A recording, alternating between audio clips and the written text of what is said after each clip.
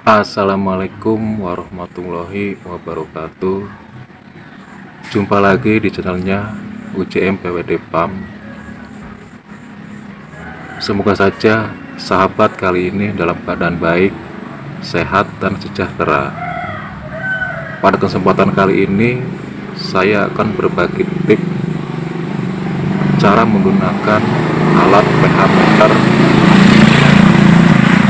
alat ini wajib dimiliki oleh para petani karena pH meter sangat berguna untuk mengecek keasaman tanah, pencahayaan, dan kelembaban. Sebelum lanjut, ada baiknya sahabat subscribe dulu agar channel ini lebih maju ke depannya. Aktifkan tombol loncengnya untuk mendapatkan notifikasi video-video kami yang selanjutnya. Bila bermanfaat, silahkan like, share, and comment.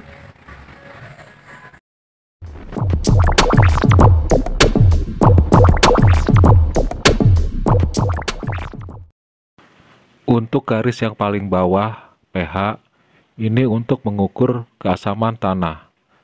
Dan yang tengah, moist ini untuk mengukur kelembaban tanah. Dan garis yang paling atas light ini untuk mengukur pencahayaan sinar matahari. Baik sahabat selanjutnya akan saya praktekkan ke salah satu tanaman yang ada di sekitar sini. Dan saya akan praktekkan yaitu ke tanaman yang ini ini buah tin. Dan selanjutnya masukkan pH meter sedalam-dalamnya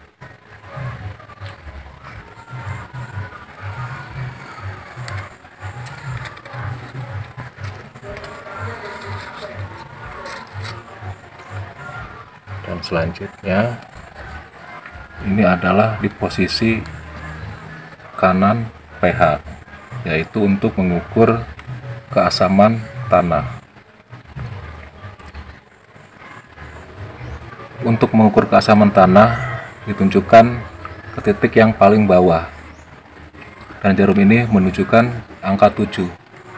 Berarti untuk keasaman tanah ini normal. Dan selanjutnya akan saya geser ke posisi leg. Itu untuk pencahayaan.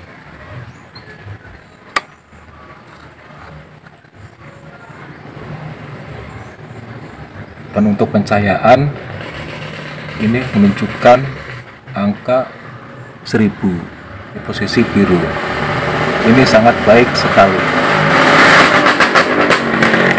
Walaupun sekarang dalam posisi mendung. Dan selanjutnya akan saya geser ke MOS itu kelembaban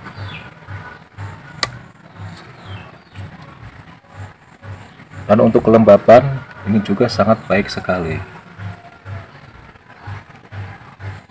Itu menunjukkan angka 6 sangat baik sekali. Dan demikian cara untuk menggunakan alat pH meter ini. Semoga teman-teman bisa mengikutinya dengan paham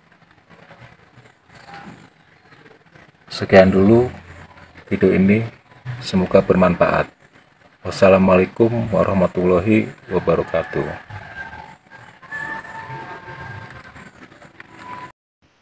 Terima kasih sudah menonton video ini.